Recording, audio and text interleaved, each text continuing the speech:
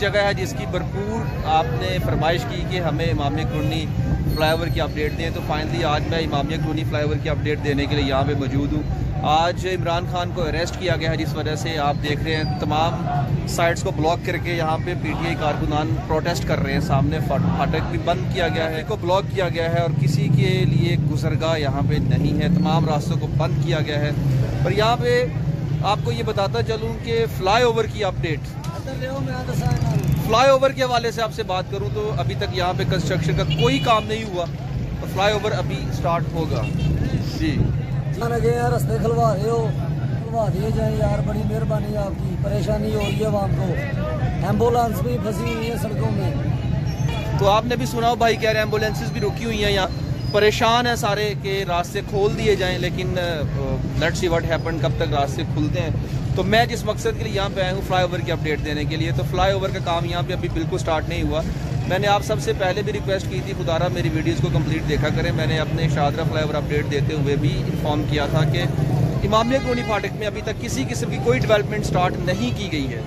तो ये निशान जो मैं आपको दिखा रहा हूँ अभी, आप निशान देखिए। यहाँ से मुझे पता चला है कि ये निशान लगा के गए हैं गवर्नमेंट वाले, ये निशान लगाए जाते हैं जहाँ पे कंस्ट्रक्शन स्टार्ट होनी हो। वल्लाह रसूल आलम की ये निशान क्या है, लेकिन यहाँ से जो मुझे इन्फॉर्मेशन मिली, उसके अकॉर्डिंगली आपको इन्फॉर्म कर रहा हूँ।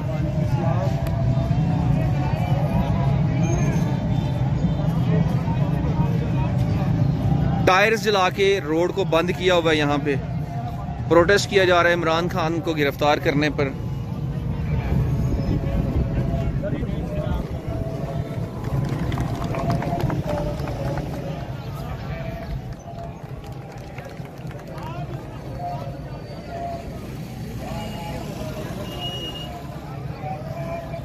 मैं इस टाइम मौजूद हूँ, जहाँ पे फ्लाईओवर बनेगा।